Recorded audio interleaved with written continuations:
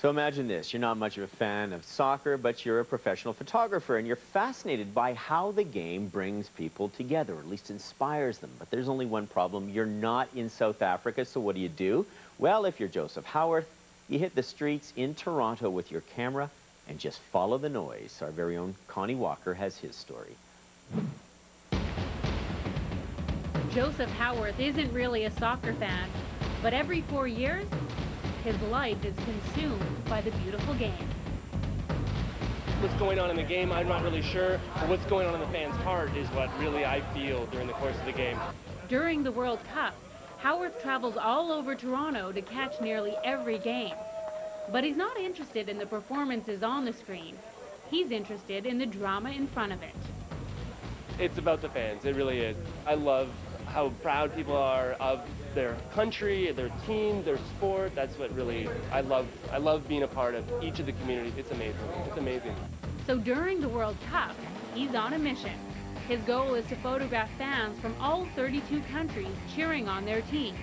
It's his way of seeing the whole world in his home city. But the way I see Toronto is that I can travel around the world during these two weeks, going to all these different countries, and I can go like today, I went from South Africa. I'm going to go to Uruguay this afternoon. Tomorrow, I'm going to Nigeria, and I'm going to Slovenia on Sunday. And that's how I feel. I feel like I'm going to visit those communities all around the world. Howarth started his project in 2006 and is back at it again this year.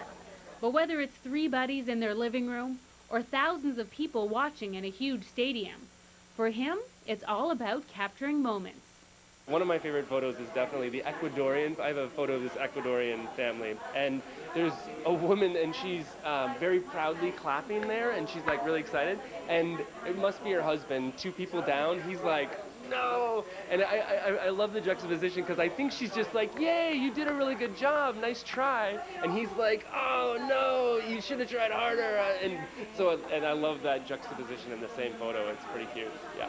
I remember I was here in this bar. Um, it was an England game versus Sweden. I happened to get a shot right when they had scored, and you just see this sea, like it's sort of like a wave of hands all going up, and you just see this window behind.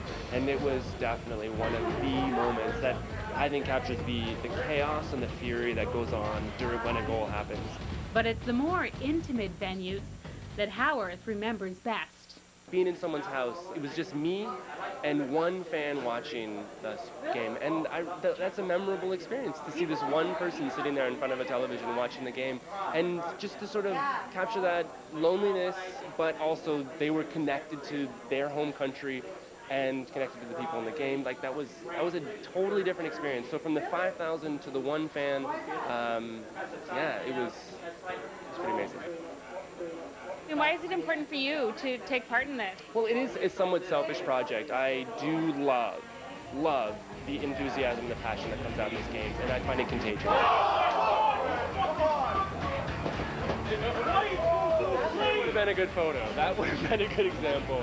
And although he may never get to travel to all of the countries in the World Cup, with every game he photographs, he gets a little taste of the hearts and minds of their fans. Great shots. I love that. Okay, make sure you stay with CBC Television for all your World Cup action. Catch the game between New Zealand and Slovakia. Bright and early tomorrow. Have it with your breakfast at 7.15 a.m. Eastern. Then at 9.45 Eastern, it's the Ivory Coast versus Ronaldo and the rest of the uh, Portugal squad. 2.15 Eastern, mighty Brazil squares off. This will be an interesting one against North Korea.